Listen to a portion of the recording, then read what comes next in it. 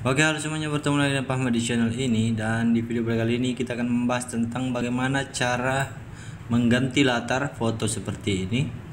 Jadi foto ini latarnya biru. Kemudian kita akan ganti hanya menggunakan Microsoft Office Word. Nah sebelum kita mulai jangan lupa klik subscribe agar channel ini makin berkembang dan bermanfaat bagi kalian semua. Dan tanpa berlama-lama lagi langsung saja kita mulai tutorialnya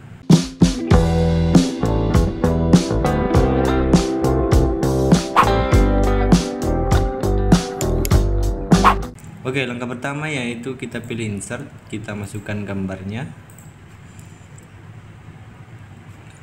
Jadi kita pilih foto yang mau kita ubah latarnya.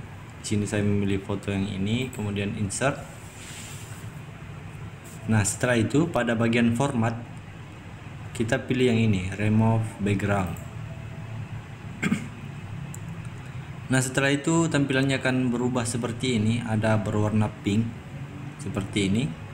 Nah yang berwarna pink ini merupakan uh, bagian yang akan kita crop. Sedangkan yang ingin kita crop atau yang ingin kita hilangkan hanya latarnya saja. Nah bagaimanakah caranya untuk uh, agar supaya foto bagian ini tidak di crop dan bagian uh, bajunya? Caranya itu kita pilih mark areas. Nah setelah kursornya seperti ini seperti pensil kita coret saja bagian yang uh, ingin kita ambil. Nah usahakan saat mencoret itu tidak mengenai latar yang ingin kita ganti.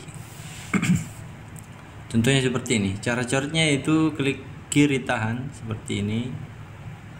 Nah nah maka dia akan otomatis mengambil bagian yang kita inginkan.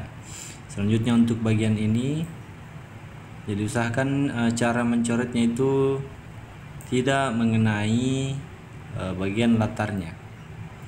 Kita coret-coret saja seperti ini lurus ke bawah. Nah kemudian jika masih ada coret lagi.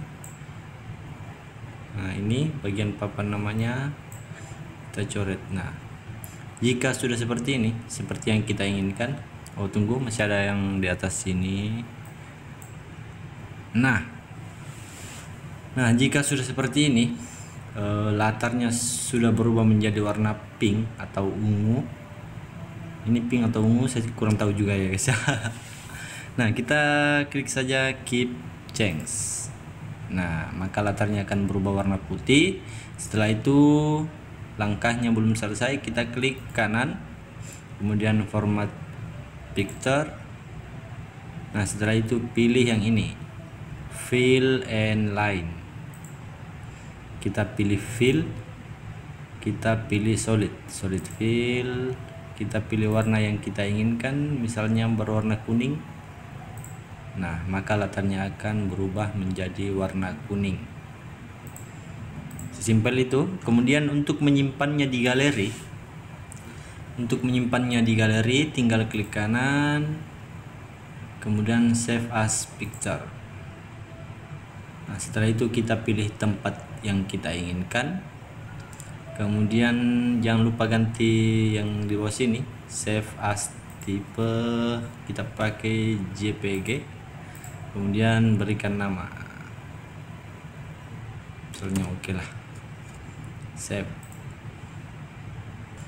Nah, seperti itu cara mengganti latar foto di Microsoft Office Word. Sekian dulu pada video kali ini. Jangan lupa klik subscribe agar channel ini makin berkembang dan bermanfaat bagi kalian semua. Dan tanpa berlama-lama lagi, saya akhiri videonya dengan ucapan terima kasih.